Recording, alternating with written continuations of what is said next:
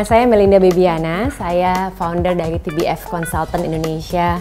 Pengalaman saya sebagai jurnalis fashion di majalah Femina, Dewi, dan sebagai editor-in-chief di Marie Claire dan publisher di L'Official selama 17 tahun memberanikan diri saya untuk mendirikan TBF Consultant. The Bespoke Fashion Consultant atau kami singkat menjadi TBF akan membantu Anda untuk melakukan sourcing, production, digital marketing, branding, selling, hingga international trade show.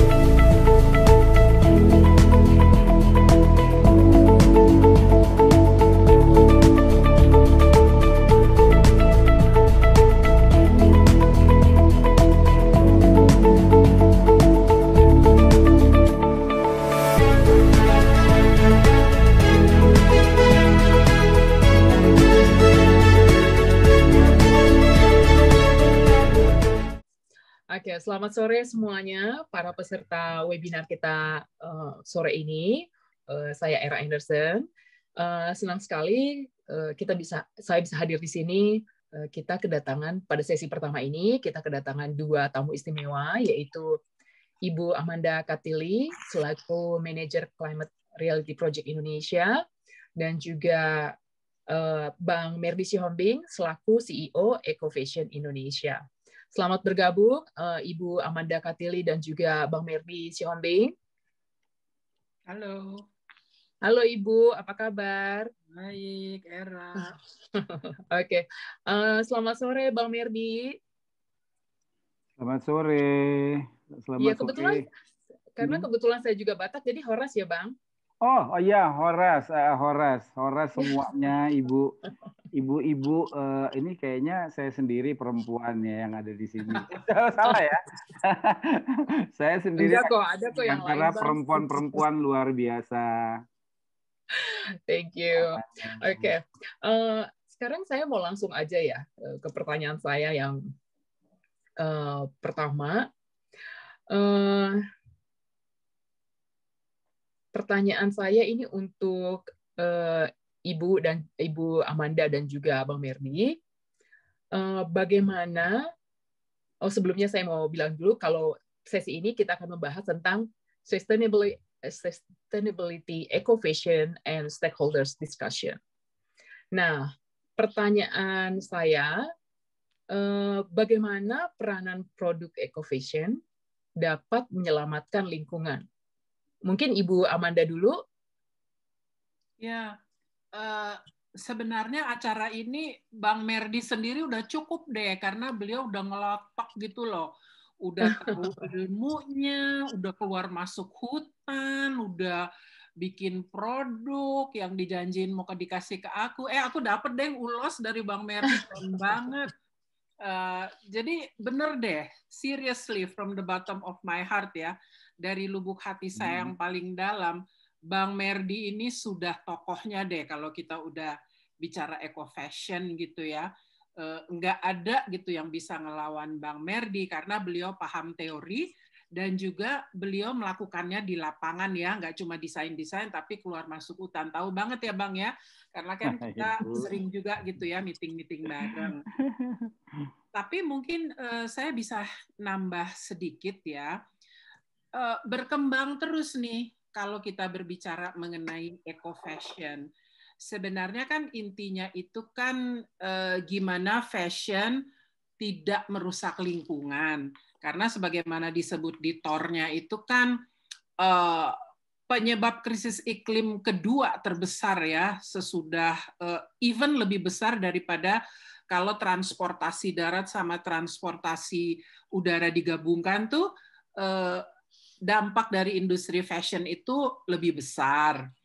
Eh, terus udah gitu juga kan rantai pasokannya itu kan panjang dari mulai awalnya sampai akhirnya jadi produk fashion itu rantainya kan sangat panjang sekali sehingga eh, pencemaran-pencemarannya banyak yang terjadi, energi banyak yang terbuang.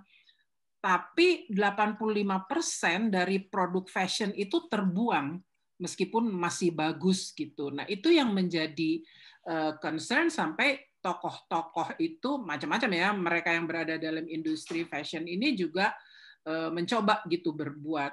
Terus berkembang terus nih usahanya atau apa namanya teori-teorinya segala macam.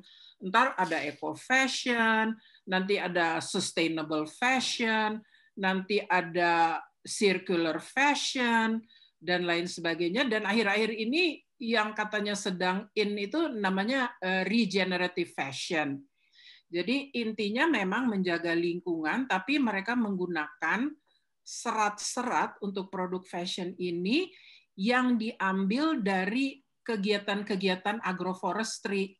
Ini tapi Bang Merdi udah masuk nih ke regenerative fashion.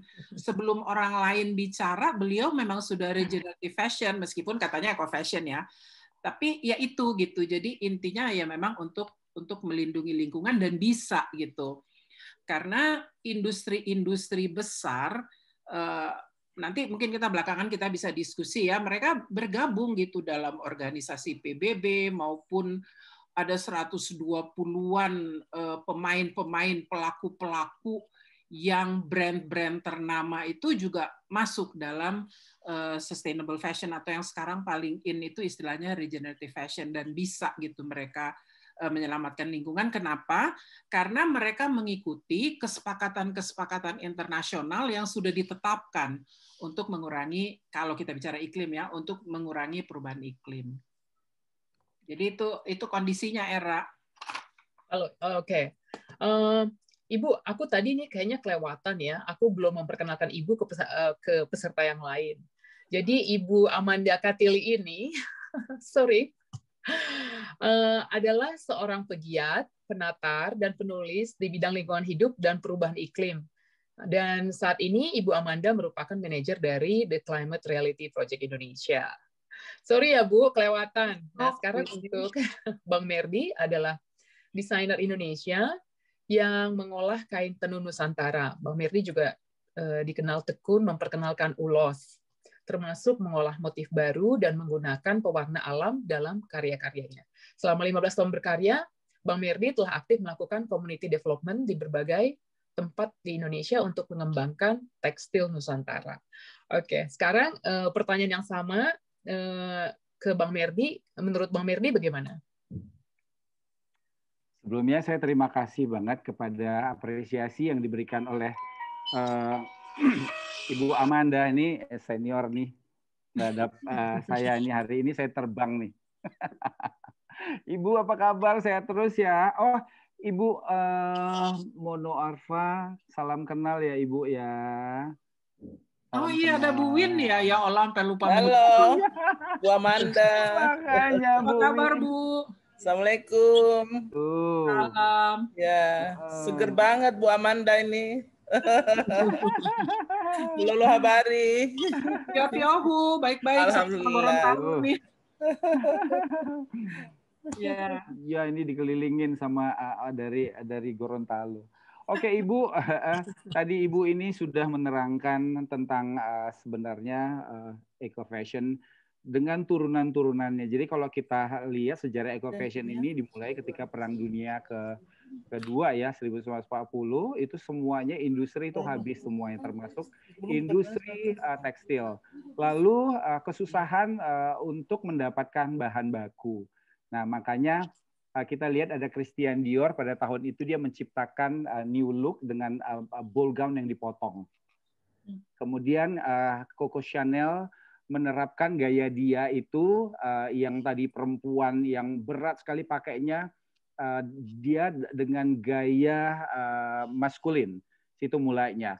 Lalu kemudian seiring perjalanannya eco fashion ini uh, berubah lagi atau punya nama lagi yang sustainable fashion itu 1970 lalu benar ada etika fashion atau ethical fashion. Lalu kemudian ya tadi di dalamnya ada circular fashion kemudian ada Tadi ada dibilang ibu yang terbaru uh, uh, regeneratif uh, regenerative fashion itu banyak banyak banget. Kemudian ada green fashion macam-macam. Uh, saya uh, apa ya uh, cuman hanya uh, tadi udah diterangkin Bu Amanda nggak usah balik lagi uh, karena sekarang isu yang bicara tentang uh, tentang fashion uh, yang mendukung uh, lingkungan supaya uh, kembali seperti semula atau fashion ini tidak menyumbang uh, limbah yang terbesar. Isu yang sekarang ini adalah bicara trans, tentang transparansi. Transparansi karena secara terbuka kita itu harus berbagi semua informasi tentang merek yang kita pakai. Jadi kita harus tahu gitu loh kan ada itu kemarin-kemarin tuh yang brand besar itu mereka bilang we are sustainable fashion, we are green. Tapi ternyata mereka tuh greenwashing. Uh, greenwashing kenapa? Karena setelah uh, konsep transparansi dan juga ada traceability, ditelusuri, penelusuran. Jadi transparansi ini uh, sustainability yang berkelanjutan adalah tentang menjadi hijau atau green dan tidak sempurna karena susah banget untuk menjadikan sempurna ketika kita bicara sustainable ini hmm. dan uh, rahasia dan penuh rahasia banyak banget nih orang sekarang kan uh, konsep orang ya kayak kami desainer ya, itu tidak pernah mau memberitahu di mana siapa yang membuat produk-produk kita. Hmm. Nah, sekarang ini fashion sustainable fashion itu semuanya harus transparan. Kenapa? Karena kita hidup di era digital. Semua serba terbuka. Nah, manusia harus dipacu dengan semua kreativitas. Nah, jadi kalau saya ditanya, Merdi kamu buatnya di mana? Oh, yuk di sana. Selalu saya buka semuanya. Saya bawa semuanya. Ini di mana? Ini benangnya apa? Ini warnanya apa? Bahkan saya membuat buku pewarnaan alam tahun berapa itu? Tahun dua tahun yang lalu disupport oleh uh, kementerian uh, saya nggak sebut lah ya disebut uh, salah satu kementerian. Nanti uh, ibu Bu, Bu Win nanti uh, sedih lagi karena yang mensupport saya tentang apa yang saya dokumentasikan tentang fashion yang berbasis lingkungan dan uh, SDGs Bu ini sebenarnya Bu yang di ini. Saya buka semua apa yang saya lakukan uh, terhadap pengrajin-pengrajin uh, selama dua tahun yang disupport oleh kementerian itu proyeknya cara mewarnai memanfaatkan tumbuh-tumbuhan yang ada di sana dan ini juga pendokumentasian uh, tumbuhan endemis supaya kita bisa mematenkan secara GI karena kekurangan kita adalah GI kita nih kita tertinggal banget nah kemudian uh, traceability. Traceability ini adalah ketelusuran. Kita tuh harus mengetahui rantai pasokan kita. Kita dapat melacak kembali semua langkah yang dilalui oleh produk kita. Itu penting banget. Karena kali kita harus tahu untuk membuat uh, t-shirt dari katun itu kita membutuhkan berapa berapa banyak liter air. Itu penting banget gitu loh. Lalu kita uh, mem, uh, untuk membuat uh, jeans berapa banyak liter air yang kita butuhkan. Karena ini kita bicara tadi seperti Ibu Win bilang, uh, salah satu uh, uh, poin air bersih dan sanitasi yang layak ini adalah di poin di tujuh salah satu poin 17 daripada SDGs tersebut. Nah, hal-hal ini yang paling penting banget. Lalu kemudian kita bicara apakah uh, apa namanya si merek ini membayar secara etika nggak, secara fair trade nggak, gitu loh. Jadi isunya udah sampai kemari ini. Terus kemudian apakah brand itu uh, supply salah satu dari supply chain-nya itu merusakin lingkungan nggak?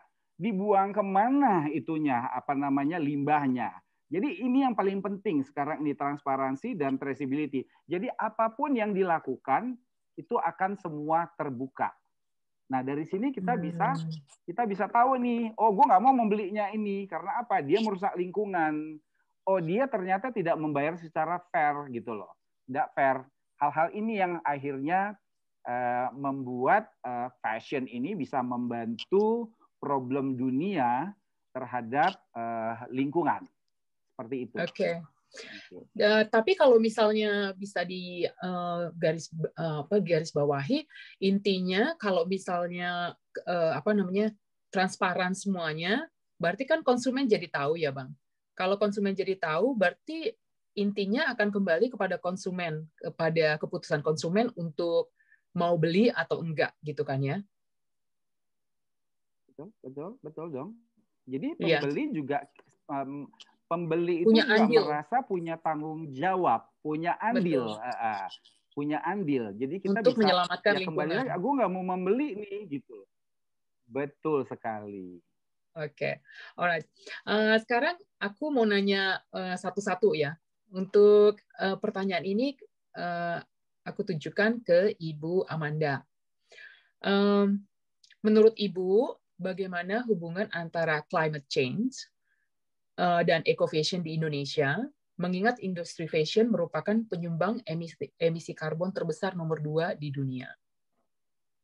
Oke, sebelum saya jawab itu, um, saya pengen ngajakin semuanya rame-rame ke tempatnya Bang Merdi, ngeliatin produk-produknya pasti pada, uh, nggak mau keluar dari situ.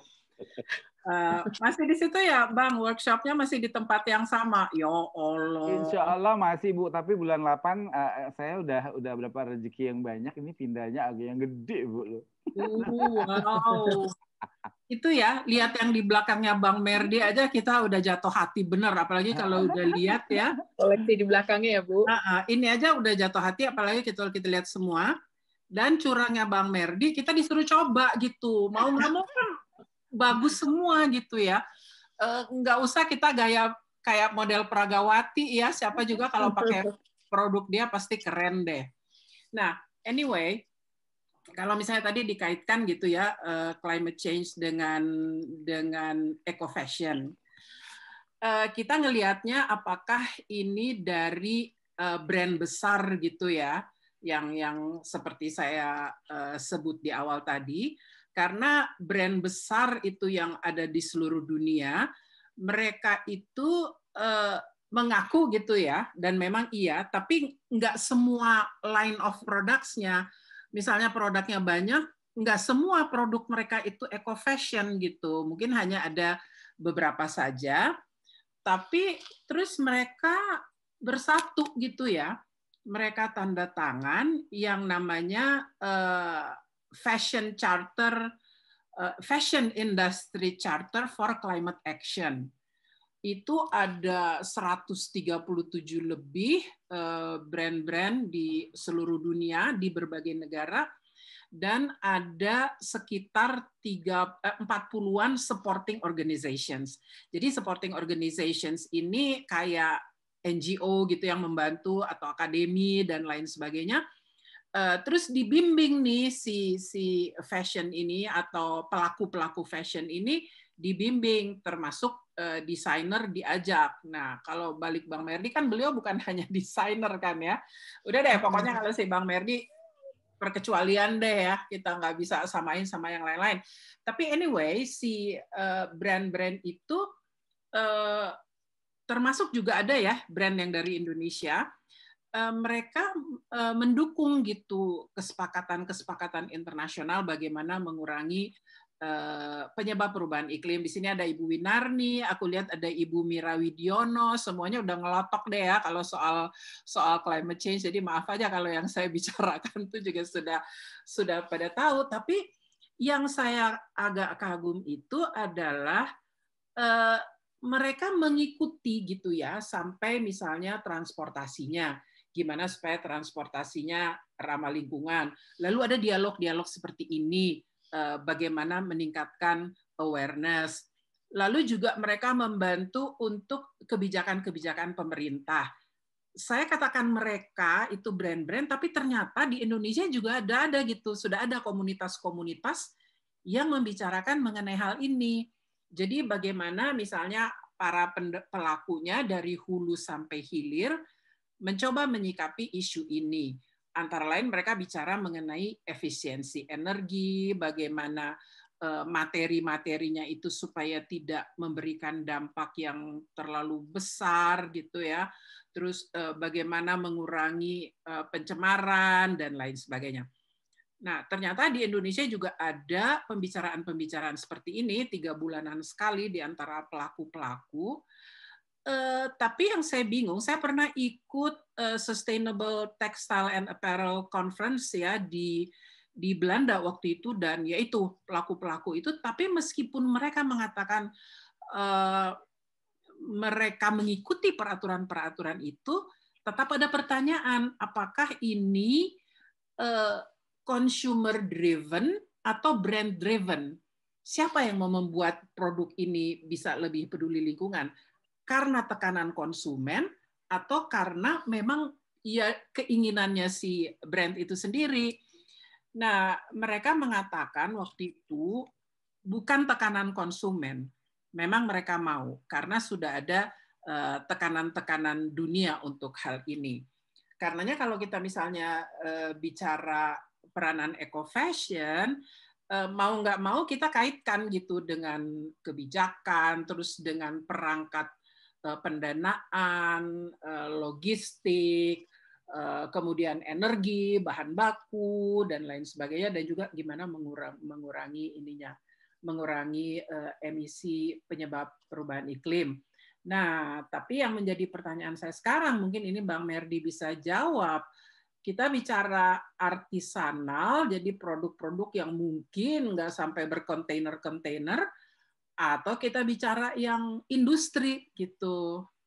Eh, ketika kita berbicara eco fashion ini, apa bisa Bang kita udah langsung bicara industri besar yang eh, mengenai fashion ini, atau ya belum ya? Nah, jadi memang ya masih banyak artisanalnya itu. Belum bisa, Bu. Jadi belum bisa kita buat ini. Jadi uh, saya juga kemarin itu bingung gitu karena ada sekelompok uh, di uh, sekelompok Asosiasi Desainer Indonesia yang membuat uh, membuat apa uh, apa ya apa namanya trend forecast dari uh, trend forecast untuk uh, fashion Indonesia yang berbasis uh, budaya budaya atau sustainable fashion ini.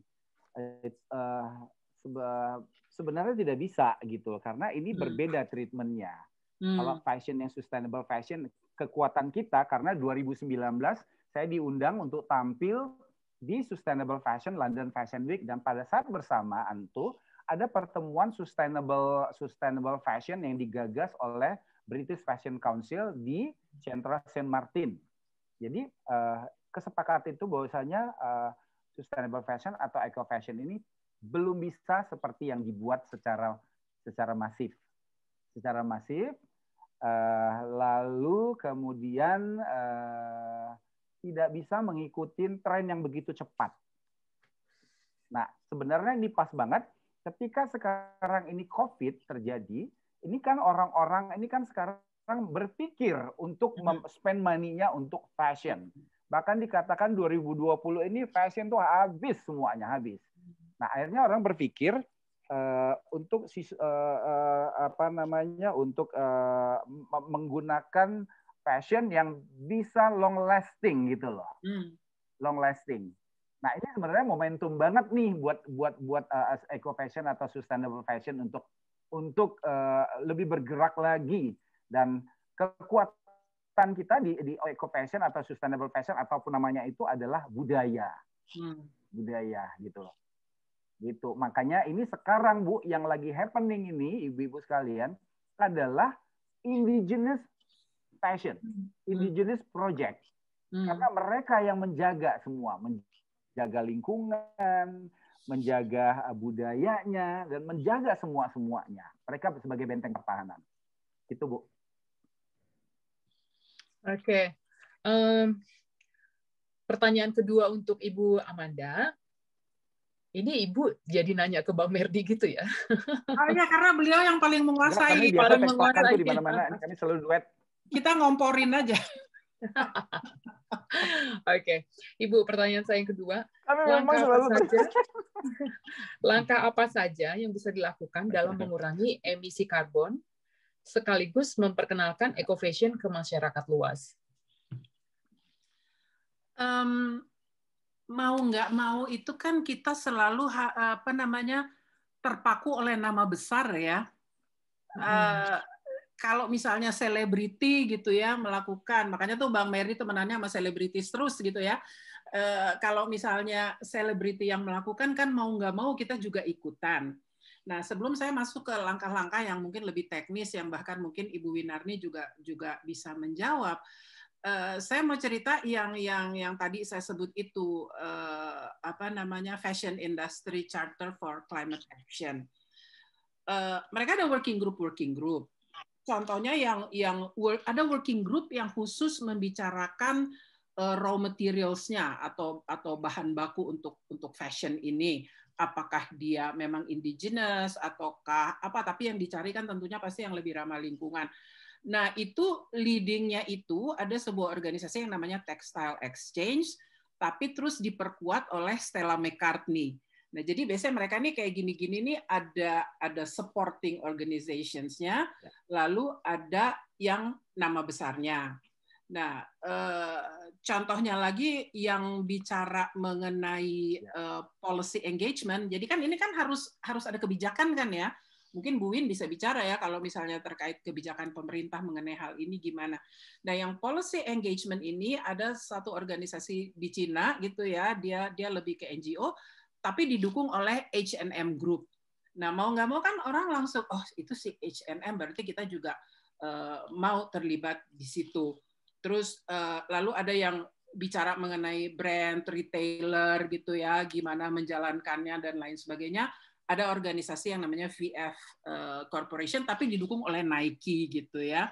Jadi eh, biasanya eh, kalau brand-brand besar ini berbicara, yang lain mau ngikutin. Nah, contohnya yang fashion industry charter yang saya sebut itu di mana lebih dari 137 perusahaan mau lebih ramah lingkungan itu yang pertama leading tuh Puma.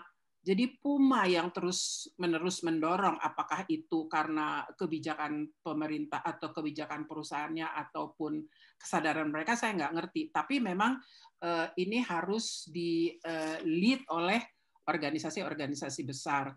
Nah, saya akan uh, menyebutkan apa saja gitu ya yang yang yang kira-kira kita bisa lakukan tentunya kalau kita bicara mengenai uh, teknis ya, teknis kalau misalnya eh, terkait dengan lingkungan kan pastinya energi baru terbarukan, kemudian efisiensi air, efisiensi energi, lalu menggunakan uh, natural dye kayak Bang Merdi. Sorry aja ya Bang ya kalau terus-terusan ku sebut karena memang dia udah udah ada contohnya ya pewarna alam. Karena kata si Bang Merdi lo tunjuk deh gue daun apa aja gue bisa bikin jadi warna kata dia gitu ya.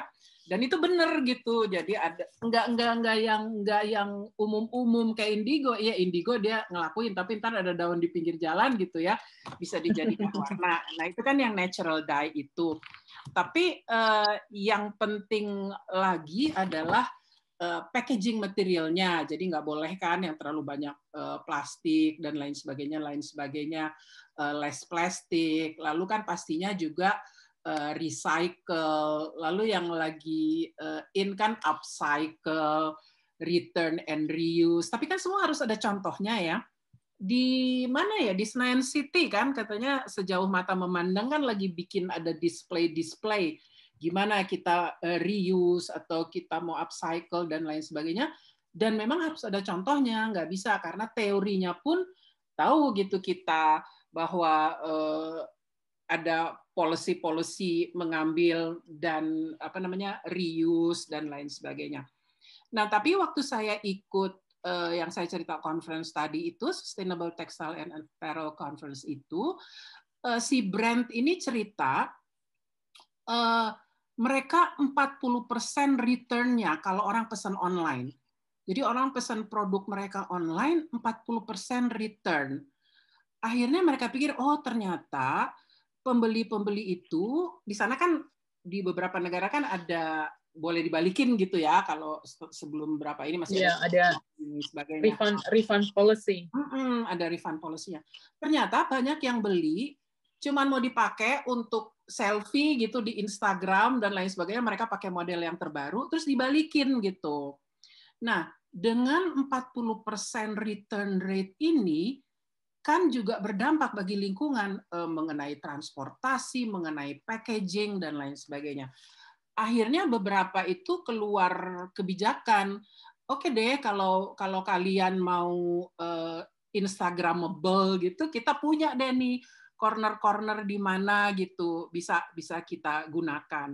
Jadi banyak eh, trik-trik atau taktik-taktik seperti itu yang ternyata iya terkait sama lingkungan, tapi mereka harus memikirkan untuk kepentingan konsumennya gitu. Jadi jadi eh, banyak sekali hal-hal yang dipikirkan. Nah eh, tadi ya eh, gimana caranya gitu ya supaya supaya lebih banyak yang mengurangi emisi karbon dan memperkenalkan eco fashion ke eco fashion. Uh, kita perlu banyak deh yang ngedukung Bang Merdi kayak Eco Fashion Week beliau dan lain sebagainya dan uh, memang harus gitu ya peningkatan kepedulian masyarakat uh, Bu Mira, Bu Mira Widiono kan ada pelatihan-pelatihan pewarna alam dengan ibu-ibu di pelosok-pelosok gitu ya. Bu Mira mana ada ya? Katanya beliau naik turun motor sampai hampir jatuh dari motor dan lain sebagainya. Nah, mereka-mereka yang punya passion seperti Bu Mira yang dan lain-lain yang untuk mainstreaming ya, untuk mengarus utamakan wastra, mengarus utamakan serat alam dan dan pewarna alami dan mudah-mudahan kita didukung ya seperti oleh Kementerian Lingkungan Hidup dan Kehutanan. Uh, mungkin kita ajak Bu Win deh, kita bikin acara di KLHK gitu ya Bu Win ya terkait ini. Uh, pasti Bu Win mendukung gitu.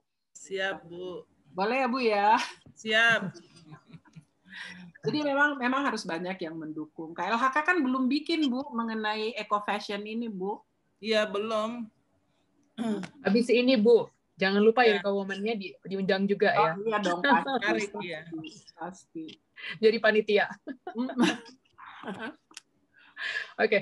jadi Bu, eh, kesimpulannya tadi eh, langkah-langkah yang bisa dilakukan dalam mengurangi emisi karbon tuh eh, kayak pelatihan pewarna dengan bahan-bahan alami itu salah satunya ya Bu ya tadi. Hmm. Terus sudah gitu mendukung eco fashion yang seperti Bang Merdi gitu. Yang ada contohnya gitu ya. Iya. Kita bisa lihat si pelaku, pelaku yang lain, menginspirasi pelaku yang lain, dan juga memberi pendidikan pada konsumen. Mm-mm. Terus sudah gitu, uh, upcycle, return and reuse. Hmm. Ini kalau apa namanya kalau return and reuse itu kayak ini ya Bu, kalau kebetulan saya kan di Australia. Jadi di sini tuh ada box donation gitu hmm. untuk baju-baju. Jadi kayak misalnya uh, saya kan membesar, jadi baju-baju saya yang dulu udah nggak muat gitu. Jadi uh, bisa ditaruh di box donation ini supaya nanti uh, ada satu organisasi gitu, uh, ada beberapa organisasi ini akan memilah-milah lagi. Karena kan kadang-kadang ada juga orang yang asal lempar-lempar terus uh, maksudnya langsung aja ditaruhin di situ gitu padahal udah nggak layak pakai gitu. Jadi nanti mereka di disortir lagi sama mereka terus nanti dijual dengan harga yang murah. Itu mungkin salah satu contoh reuse juga ya bu ya. Jadi iya. nggak nggak kebuang langsung. Ada kan orang yang langsung ah udah buang aja gitu. Tapi kalau di tapi kalau di Indonesia saya eh, penasaran di Indonesia kira-kira mau nggak ya orang ini kan istilahnya eh, baju bekas ya Bu. Kayaknya di Indonesia eh, nggak tahu aku ya. Menurut aku mungkin orang-orang lebih bergengsi tinggi untuk pakai pakaian bekas dibanding eh, di luar negeri gitu. Bener nggak Bu? Ya, waktu itu pernah juga ada pembicaraan seperti itu. Banyak yang belum nyaman ya, apalagi kalau tidak mm -hmm. gitu ya orangnya sehingga dicari gitu eh, mekanisme-mekanisme lain. Eh, pernah dengar nggak yang yang 30 wears itu paling enggak bajumu itu harus 30 kali dipakai gitu sebelum disimpan atau apa gitu. Kan tadi 85% dari produk fashion itu terbuang uh, tempat sampah ke tempat pembuangan akhir meskipun masih layak pakai. belum lagi kalau brand-brand itu satu tahun berapa season gitu keluar berapa line mm-hmm. itu uh, waste-nya kan luar biasa besarnya. Nah, jadi biasanya dicari challenge-challenge itu ya antara lain yang saya rasanya lucu gitu ini udah 30 kali belum ya aku pakai. Uh, biasa anak-anak muda yang kreatif-kreatif datang gitu dengan inisiatif-inisiatif seperti itu. Iya ya, betul juga ya Bu. Itu setidaknya uh, kalau kita hitungin sampai 30, at least kan mungkin seminggu sekali kita pakai ya nggak setidaknya mungkin setahun udah 30 kali cuci mungkin warnanya udah pudar juga ya Bu. Oke, okay. sekarang eh, aku mau eh, bertanya ke Bang Merdi. Eh, Bang Merdi sebagai penggagas eco fashion di Indonesia, menurut Bang Merdi negara Indonesia eh, pelaku industri, pelaku industri fashionnya sudah sejauh mana dibandingkan negara Asia lainnya? Uh, jadi uh, saya bicara uh, secara spesifik uh, eco fashionnya apa secara secara uh, uh, apa apa uh, fashionnya? Secara fashionnya. Oke. Okay. Uh, kita mengacu kepada uh, Fashion Week yang ada di uh, negara kita ya dan negara lain. Kalau kita punya yang cukup uh, prestis yaitu Jakarta Fashion Week dan Indonesia Fashion Week. Dan di dalamnya ini kan belum ada uh, apa ya uh, sebuah ciri khas fashion mewakili fashion Indonesia. Itu nggak ada. Uh, kalau dibanding dengan misalnya dengan Jepang atau dengan New York dengan negara lain itu udah jelas dia punya garisnya seperti apa fashion mereka. Kita ini ada yang namanya yang namanya Muslim fashion, kemudian uh, dia berubah jadi modest fashion, kemudian ada yang uh, yang eco fashion macam-macam nih ya. Tapi semuanya kita masih belum bicara industri yang besar, masih skalanya masih skala yang belum diharapkan menjadi sebuah industri. Jadi uh, kalau bicara itu juga karena kita lihat ya uh, yang datang uh, uh, di, di, di acara-acara fashion di Indonesia ini uh, bukan yang end up-nya itu adalah bisnis tapi kayak macam masih entertain. Masih entertain rata-rata di, di kita ini. Jadi tidak bicara bisnis. Hmm. Maksudnya bisnis nih gimana nih Bang Merdi? Ya, ya artinya industrinya belum tercipta gitu loh. Industrinya itu hmm. belum tercipta secara secara baik hmm. dibanding negara lain. Misalnya dibanding dengan uh, Bangladesh ataupun dengan India ataupun mungkin dengan Malaysia dengan Thailand, industri fashion kita itu belum established. Jadi kalau kalau misalnya uh, men menurut Bang Merdi dibandingkan negara Asia lainnya, kita tuh ada di nomor berapa? Seperti yang Mbak Mirti bilang kan tadi kan kayak Bangladesh atau Thailand kan itu berarti udah di atas kita ya. Kira-kira kita tuh di nomor berapa tuh? Nah, saya itu belum tahu datanya itu. Tapi paling tidak gini, ketika kita mau kita negara kita ini pengen nge-branding kita negara kita ini sebagai negara uh, image uh, uh, uh, fashion muslim tapi ingat loh, semuanya itu datangnya dari barang import. Dari fabriknya, which is itu adalah uh, kembali tadi yang kita ngomong polyester semuanya. Hmm. Dan garmentnya juga di sana. Karena apa? Karena semua serba murah. Dan akhirnya kita hanya menjadi tempat pemasaran hmm. dari produk-produk luar. Hmm. Uh, nah, kalau misalnya tadi kita sempat aku sempat ngomong sama Mirna tentang uh, polyester. Aku tuh suka polyester karena nggak perlu disetrika. Licin kan, gampang. Jadi tinggal pakai. Ya. Terus uh, apa namanya?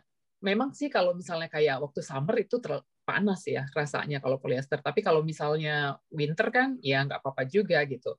Cuma mendengar polyester itu banyak plastiknya uh, dan itu sangat buruk buat apa namanya buat lingkungan, mungkin eh, aku harus ganti jadi ini ya, ganti selera ke eco fashion.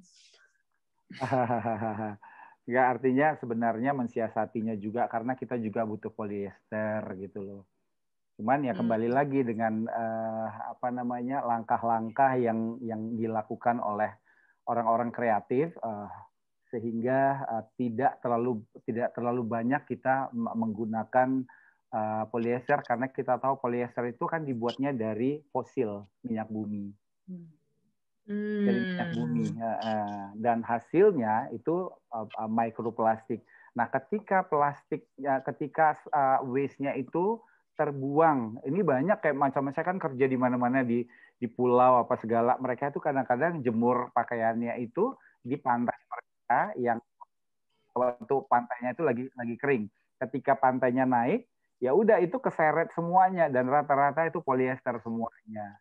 Ya hmm. tadi kita ngomong polyester itu uh, umurnya uh, lama sekali untuk terurainya ya, ratusan tahun ya. 200 tahun, iya benar. tahun, uh, uh, 200 tahun.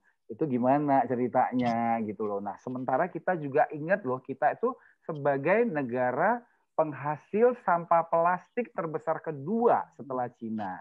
Nah kemarin sebenarnya gini Bu, uh, saya kemarin itu uh, bekerja bareng dengan UNDP dan Kementerian dari Bu Win ini.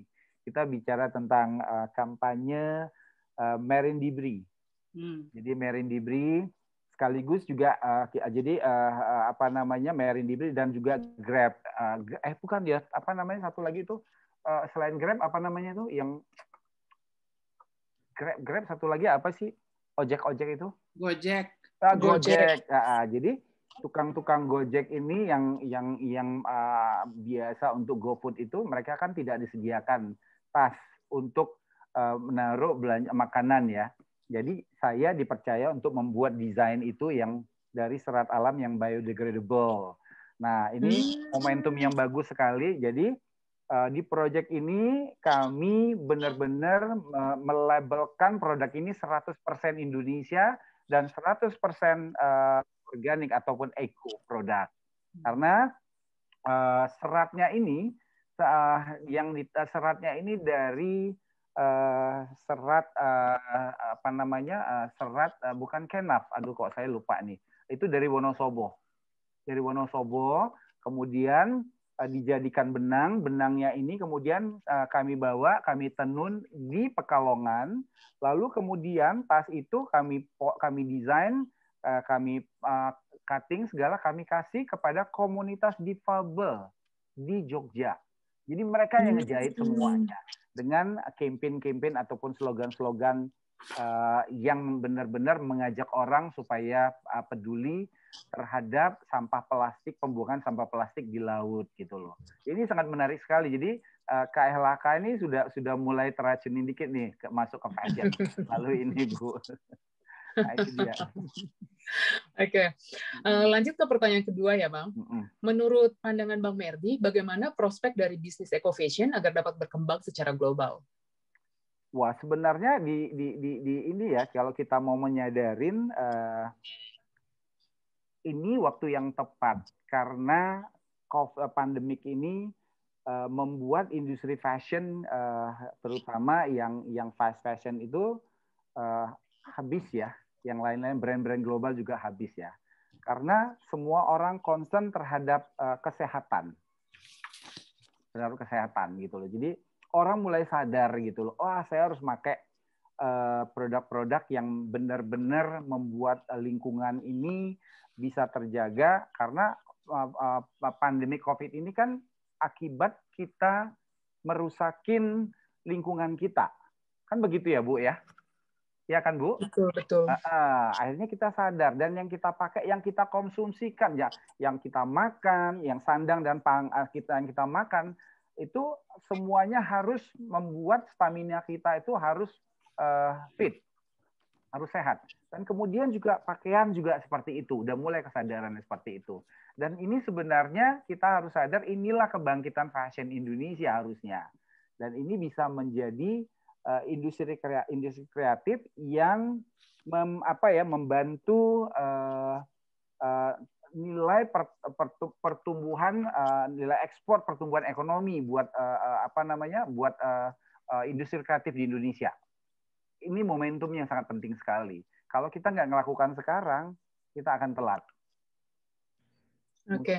ini uh... pemerintah harus harus uh, harus uh, merubah uh, mindsetnya bahwasanya uh, Indonesia lebih tepat sebagai headquarter uh, eco fashion ataupun sustainable fashion ataupun uh, fashion yang yang memang ramah lingkungan, yang beretika, yang uh, peduli dengan semua semuanya ya dengan planetnya ini karena planet uh, bumi ini kan cuma satu nggak ada yang lain.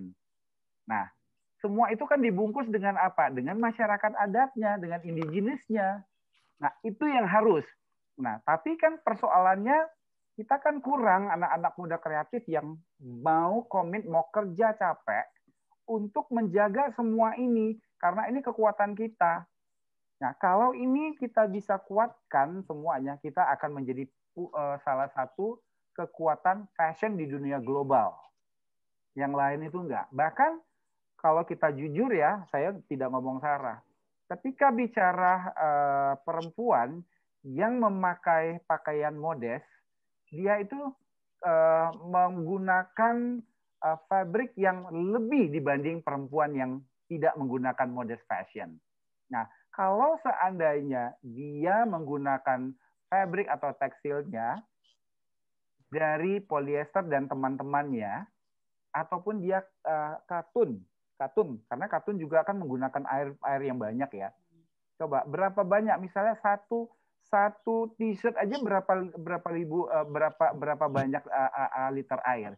Kemudian satu meter polyester berapa banyak pak fosil atau minyak bumi yang diiniin. Nah, ketika kita cinta sama sama sama sama sama agama kita, agama kita kan suruh menjaga menjaga semua hati kita dan menjaga juga lingkungan kita, lingkungan kita. Nah, coba kita hitung. Nah, dengan eco fashion kita campaign satu atau sustainable fashion satu minggu dalam satu minggu satu dalam satu bulan satu kali kita menggunakan dari head to toe pakaian kita yang benar-benar produk dari organik berapa banyak terselamatkan bumi kita ini gerakan hmm. ini gerakan ini luar biasa ketika kita kita lakukan karena mengingat kita um, majority penduduknya adalah muslim Muslim gitu loh. Nah kalau kita buat begini, ini kampanyenya akan luar biasa banget gitu. Jadi melalui fashion kita bicara banyak lingkungan dan semua semuanya gitu loh. Jadi sebenarnya kalau dibilang uh, prospeknya itu uh, cukup besar. Besar. Cuma sekali. mungkin cuma mungkin untuk kesadarannya ini ya, Bang Merdi. Kalau untuk di kayak di negara-negara luar, menurut aku nih udah banyak yang sadar akan eco fashion Betul, Jadi, betul. Uh, saya, tapi memang saya, saya 2001 ngomong eco fashion. Saya melakukan gerakan itu gitu loh. Sampai, uh, 2001, dan bayangin mungkin, berapa lama ini.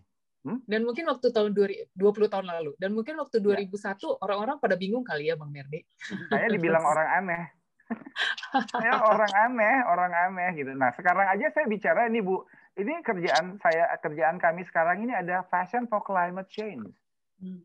Jadi kami kerja di lahan gambut, pendampingan perempuan-perempuan di lahan gambut itu untuk uh, untuk me, apa meningkatkan ekonomi mereka dengan menjaga lingkungan mereka yaitu dan kreativitas dari warisan leluhur mereka yaitu adalah tanaman purun seperti ini. Tanaman apa, Bang? Purun.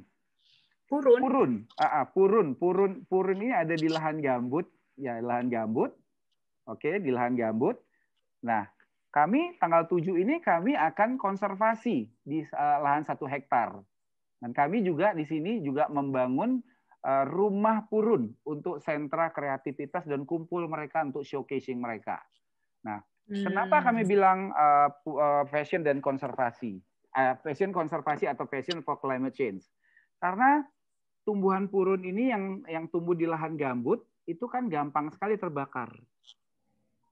Gampang sekali terbakar, apalagi musim kemarau ya Bu ya. Nah, ketika uh, dia terbakar, mengakibatkan hutan-hutan Indonesia terbakar, hutan tropis Indonesia. Akibatnya kan yang ada di Eropa sana, yang di dekat apa namanya di dekat kutub sana kan ketakutan tuh nanti esnya mencair iya, tenggelam semuanya. Betul. Nah, jadi ini yang kami lakukan. Nah, kami lagi meng meng mengkampanyekan fashion for the climate change. Tadi Bu Win Bu, ini yang kerjasama dengan KLHK, Bu, yang um, Marine Debris. Hmm. Ini Bu, ini.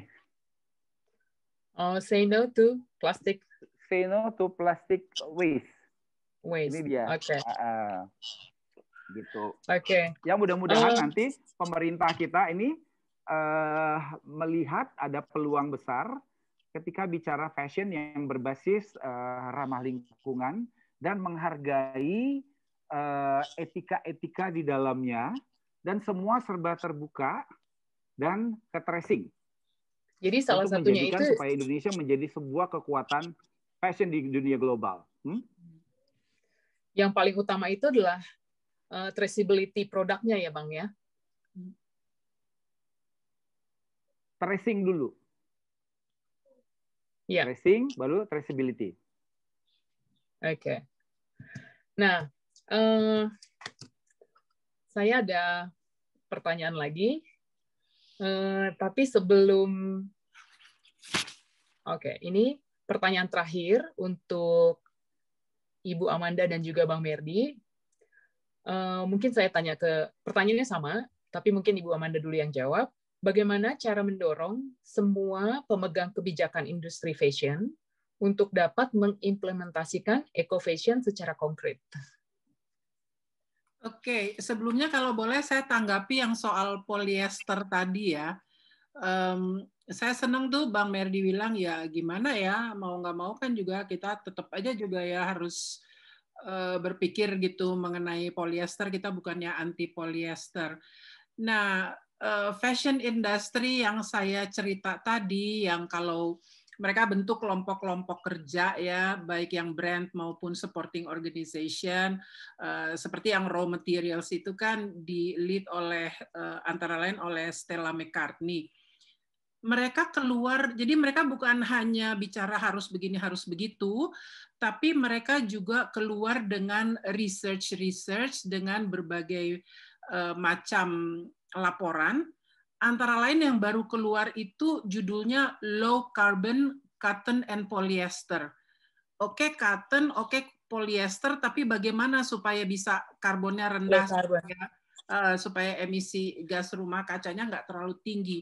Dan uh, data yang mereka katakan itu memang polyester itu adalah serat yang paling banyak digunakan.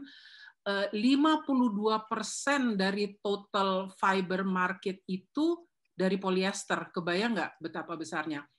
Nah, tapi saya juga baru tahu itu dari research mereka karena ternyata 14% dari uh, fiber yang di atau uh, polyester yang diproduksi itu ternyata dari recycled materials. Jadi fibernya itu juga ternyata dari uh, produk-produk daur ulang mereka jadikan fiber. Nah, itu ada data-datanya. Lalu mereka mau lebih jauh lagi gitu, gimana supaya supaya lebih uh, low carbon. Itu datanglah teknologi-teknologi itu, inovasi-inovasi dari uh, teknologi textile production. But uh, the thing is atau apa yang kita juga perlu pahami itu banyak gitu research-research itu yang kadang-kadang kan kita udah nunjuk aja, aduh fiber nih ininya nih penyebabnya dan lain sebagainya. Padahal sebenarnya ada kegiatan-kegiatan teknologi-teknologi eh, program-program dan yang tadi itu bicaranya global yang 14% dari eh, fiber products atau polyester products itu adalah dari recycled materials itu ternyata global. Jadi mau nggak mau memang sudah ada gitu ya penurunan emisi karbonnya. Nah, sekarang pertanyaannya gimana gitu ya untuk pemegang kebijakan. Saya eh, dapat apa ya pencerahan dari seorang pemuka agama. Ini bukan tentang dia nggak bicara mengenai tekstil, tapi kan banyak pertanyaan kenapa sih kita sudah tahu ini permasalahannya baik lingkungan maupun perubahan iklim? Kita sudah tahu ada solusinya apa yang harus dilakukan dan lain sebagainya. Tapi kok keadaan masih gini-gini aja gitu?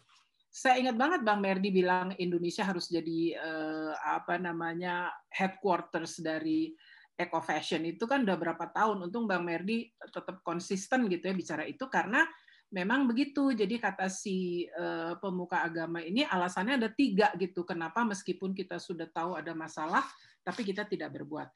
Dia katakan yang pertama adalah sudah karakter manusia untuk harus terus diingatkan. Jadi terus gitu ingatkan mengenai eco fashion lah, sustainable fashion dan lain-lain itu terus harus terus menerus diangkat karena memang karakter manusia itu harus terus menerus diingatkan. Kemudian yang kedua adalah untuk menyikapi masalah yang ada, semuanya harus dimudahkan.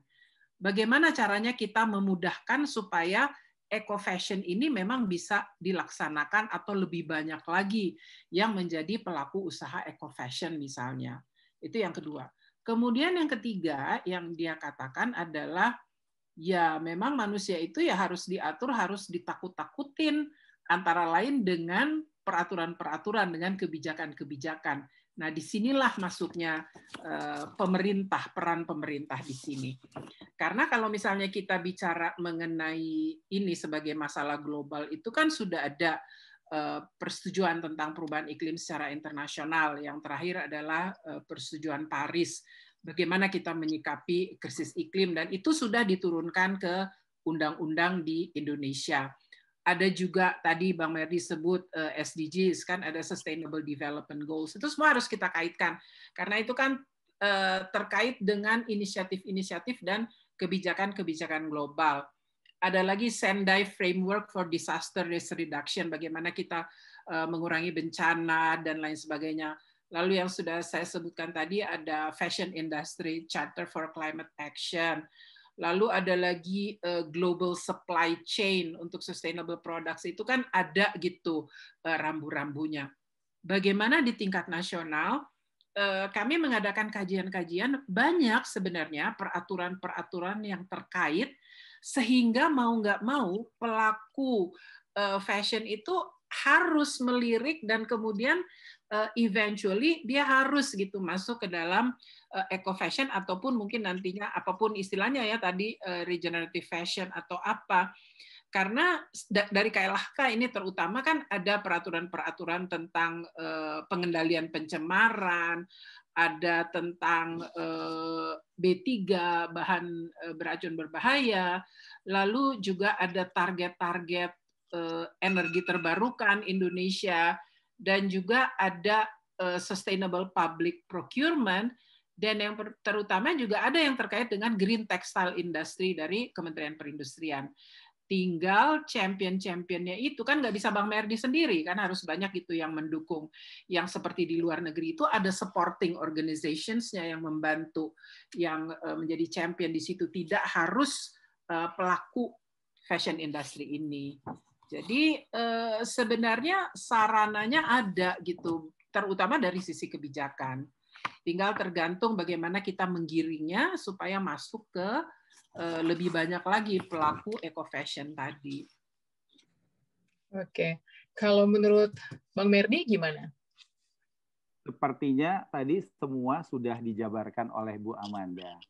Saya sebagai praktisi, saya hanya uh, apa ya uh, melihat apa yang melihat dan merasakan ketika saya bekerja uh, untuk uh, menggaungkan uh, eco fashion ini ataupun uh, sustainable fashion ataupun yang yang namanya ya ya bermacam-macam itu uh, merasa harus berbicara kepada pemerintah uh, supaya agak kasar dikit ya uh, ego sektoralnya itu kayaknya harus mulai ditinggalkan gitu loh. Jadi hmm, kalau kita bicara di awalnya bicara kreatifnya itu di uh, industri kreatifnya nah, kemarin ada backcraft gitu. Mungkin ditelaah dulu gitu loh program-programnya gitu loh. Programnya ditelaah uh,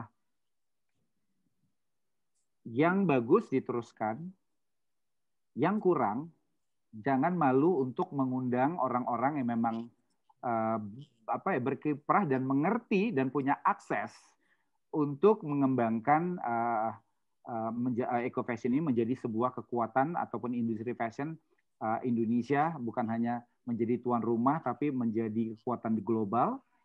Uh, kita duduk sama-sama gitu loh.